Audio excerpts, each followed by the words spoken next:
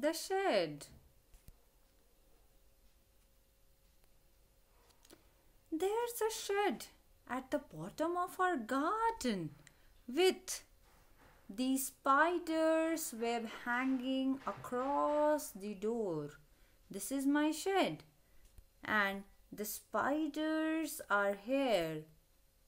So, the hinges of the shed are also rusty and creak in the wind, which scares me. When I am in bed, I lie and I listen. I'll open that door one day. There's in that shed, there's a dusty old window at the side with three cracked panes of glass. These are all cracked.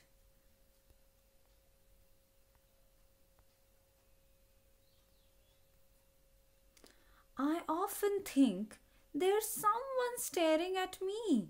Each time that I pass, I'll peep through that window one day.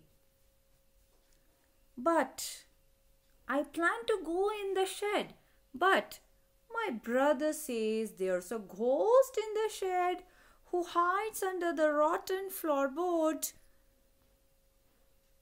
which often scares me.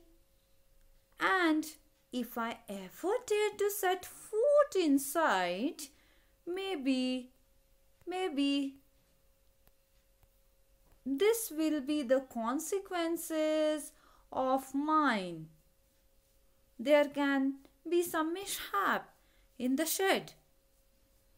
But one thing I know that there isn't really a ghost my brother tells lies to keep the shed for his den. There isn't anyone staring or making strange noises, and the spider has been gone from the web since I don't know when I'll go. But I'll go into the shed one day. But